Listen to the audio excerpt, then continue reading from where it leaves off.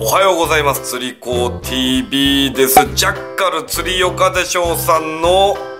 コラボルアー。日日フロイジーがですねついに店頭に並んでましたよ。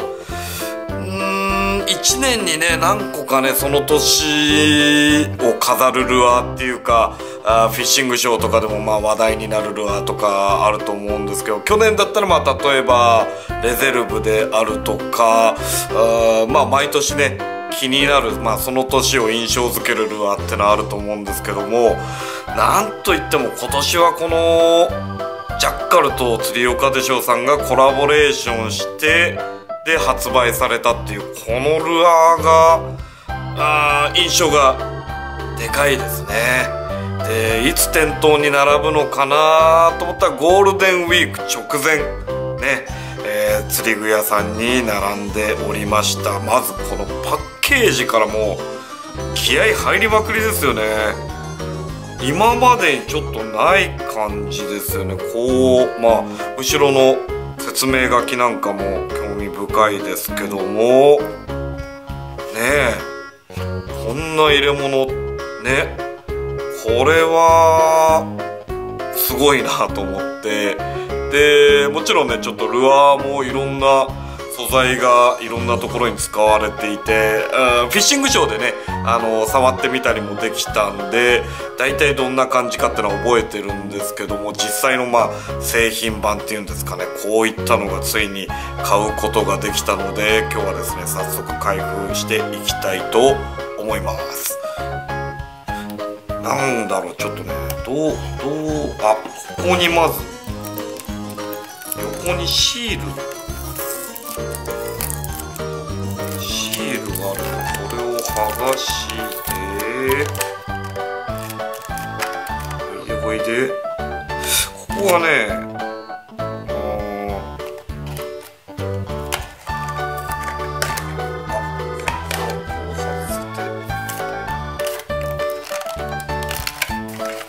これでもう取れる。あ取れそう。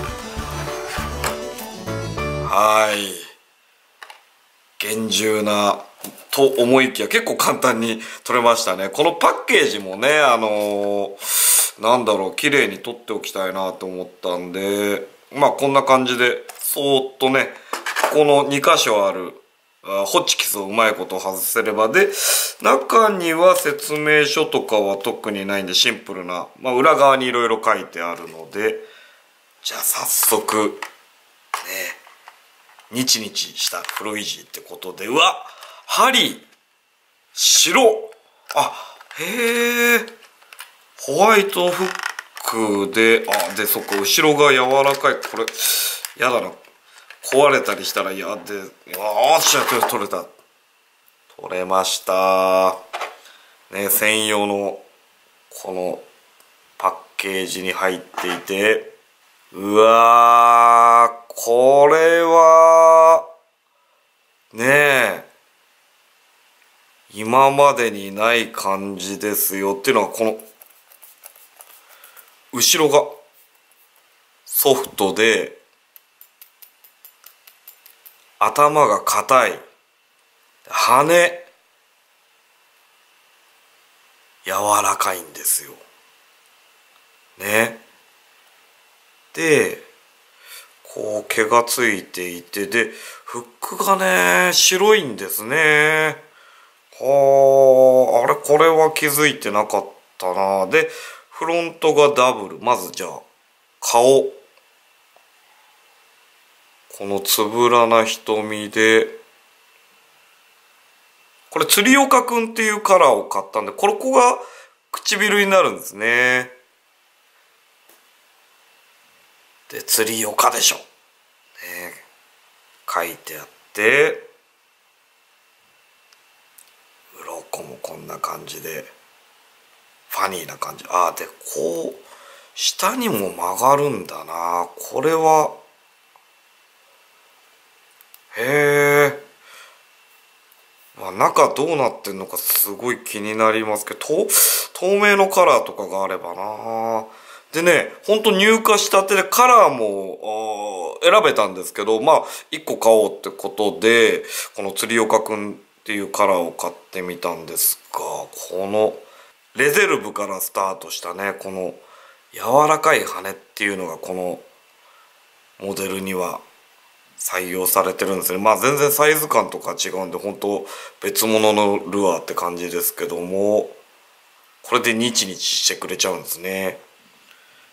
このねパッケージにいろいろあ前の方にもまずタイプはフローティングだよってことで、えー、で長さがね 63mm、えー、ウェイトが 14g で日々アクションがバスに効く釣り岡メンバー陽来モデル。日々フロイジってのが表には書いてあって裏側にね結構いろいろ使い方とかの説明書きがあるんですけどもわあ結構細かくねいろいろ書いてあるんですがえ釣り岡の陽来さんモデルってことで日々もがくセミのよう。釣り岡でしょう陽来の発案をもとに新しい構造のルアーが誕生しました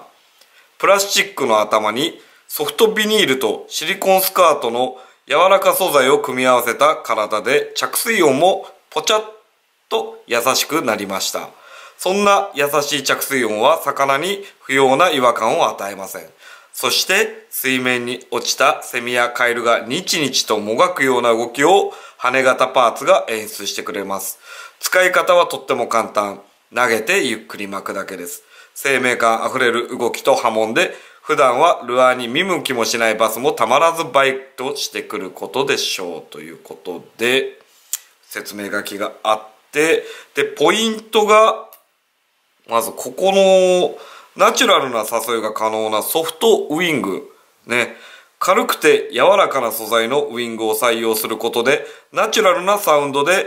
微細な波動の演出が可能になりました。釣りオカルアー3種類の中最もゆっくり誘えるルアーですということでであのこのね白フックのことも書いてありますね。こだわりのフックセッティング。フロントには冬ゴミや障害物を拾いにくいダブルフックをリアにはフッキング重視のトリプルフックを配置。リアフックはカラーによって針の色を変えボディスカートカラーの一部としてバスにアピールできるようにこだわりを盛り込みましたということでカラーによってこのフックの色が変わるみたいですよ。面白いですね。でえー、あ陽来さんいますけどね。陽来からの一言コメント。釣りはうまくやるんじゃない。楽しくやる。をコンセプトに活動してきた僕らが楽しいルアーを作りました。のはずが釣れるんです。ね。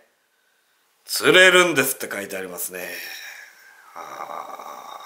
ちょっと早く投げてみたいですねこれは。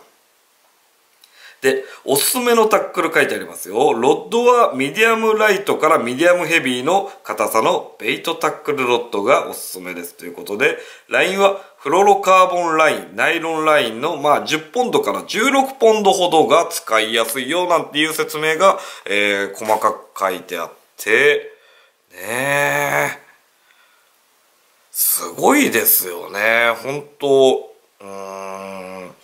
YouTuber の人が考えたルアーを老舗ルアーメーカーが形にしてそれが釣り具屋さんに並んでまあ多分これはもう大人気になると思うんですけどしかも大人気ルアーになっちゃうっていう。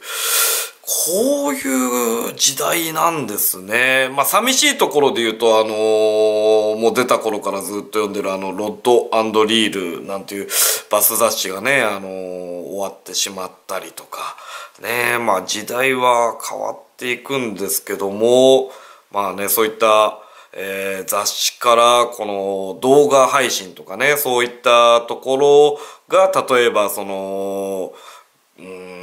まあこう言ったらおこがましいかもしれないですけど、業界を牽引していくような、そういう、まあね、昔からその、テレビなんかで言っても、も、映画があって、その映画が、えー、まあ、テレビになって、まあテレビがビデオになって、ビデオが DVD になって、それがネット配信になって、とかこう、まあ、YouTube が誕生してとかね、えー、いろんなものが選べたりってそういう時代が、えー、変わっていく中で結構ねえー、YouTuber の人が、その、考案したルアーが一世を風靡するって、こういう時代がもう、思ったより早く来ましたね。あー、ほんとね、すごいですよね。で、またこの後もね、時代っていうのはどんどん変わっていくでしょうから、まあ次はどういったメディアがね、あのー、現れるのかって、そのこういうのもね、あの、楽しみですけども、結構ね、本当動画の活躍からスタートして、で、そういう人たちの経験をもとにこういった面白ルアーが、え、誕生して、で、これね、いいところが本当多分、いろんな人が使ってみたくなるようなルアーなんじゃないかなって。まあ、そのガチムチのそのトーナメント志向とかとはまた違った感じのね、えー、投げて楽しい、うん、そんで釣って楽しい。で、カラーリングもね、こんな感じで、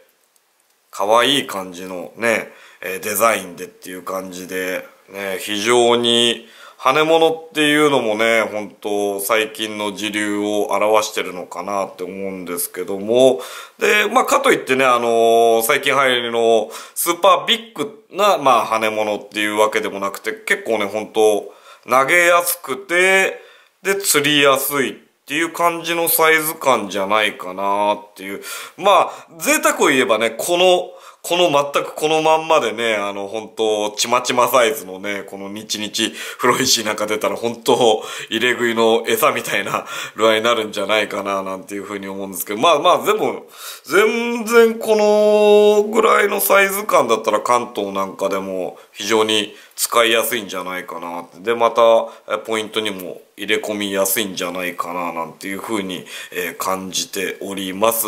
でね、まあ、ここ 14g って書いてあるんですけども、一応ね、あの、重さも測っておきたいと思います。はい、ということで、えー、釣り岡でしょうの、えー、洋来さんモデルの日々フロイジー。これは何グラムでしょうか？書いてある通りですね。あ、本当あここに記載されてる通りもう 14g ですね。あ針とか、まあ、このね、あれでちょっと重さ変わったりするのかなと思いきや、えー、書いてある通り 14g でしたということで、うん、ミディアムライトからってことで、でもね、本当今もうね、5月になるんで、こっからですよね。あスポーニングも落ち着いて、ね、バスも回復して、いよいよこういった面白い、楽しいトップウォータープラグが、え大活躍する季節に突入していきますからね。これ早速ね、ちょっとと投げてみたいなということで、まあちょっと休みのたんびにこれを持って釣り場に通おうかななんていうふうに考えております。というわけで本日の釣り子 TV はですね、えー、ジャッカルと、えー、YouTube の釣り岡でしょうさんのえ、陽来さんが考案したっていうスペシャルコラボルアーね、日々フロイジー、えー、これを一つ買ってきたよってこういった動画でした。はい、釣り子 TV でした。